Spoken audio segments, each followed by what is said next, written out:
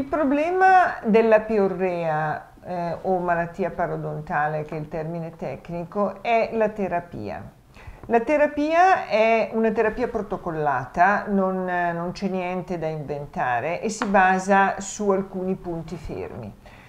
Il primo punto è la, la pulizia diciamo, della, dell'area gengivale che va fatta sopra gengiva ma eh, successivamente con degli strumenti eh, particolari sotto gengiva e al nome di root planing.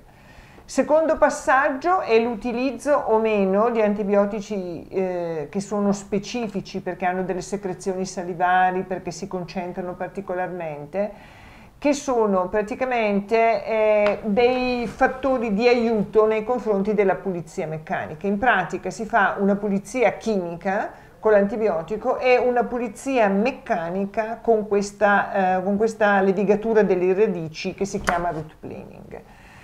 Alla fine di questi trattamenti eh, si può decidere di fare eh, un intervento chirurgico, cioè un'apertura delle gengive per andare a pulire in determinate zone che sono quelle più gravi, ma alla fine eh, di questi trattamenti si fa soprattutto un sondaggio parodontale per capire quali denti sono stati recuperati, dove la gengiva si è richiusa anche avendo perso una certa quota di osso e quali sono invece i denti che sono perduti perché nonostante i trattamenti non c'è abbastanza osso, la gengiva non ha più avuto la capacità di richiudersi e quindi sono denti da togliere.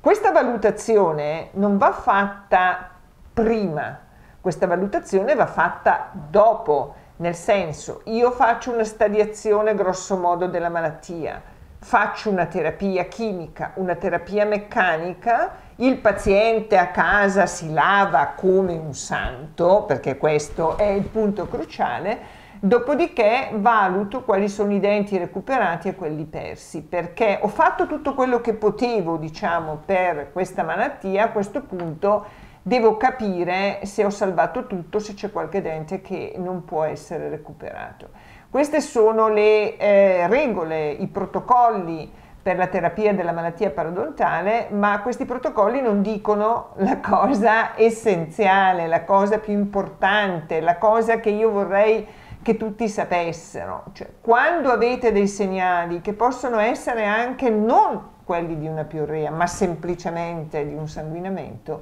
fatevi controllare.